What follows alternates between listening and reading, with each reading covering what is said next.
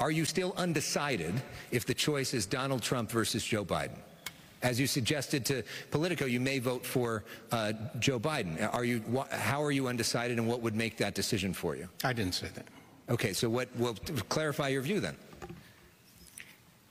When the time comes, I'll do exactly what I said to you. I will look at the two opponents.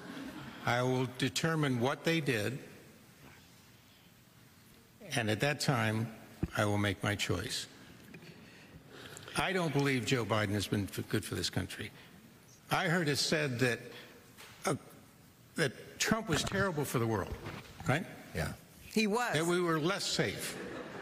We were safer Yeah. more under him than we are under Biden. We're on three Co- co- different platforms throughout the world. So he's Congressmember. He's arguing that uh, that we were safer under President Trump. What do you make of what he just said, and what's your response? Well, California, I think what they say is true. Once a Dodger, always a Dodger. he just chewed up two and a half minutes of the time to talk about substantive issues in this debate re- and refused to answer the question. Ballots go out in six weeks, Mr. Garvey.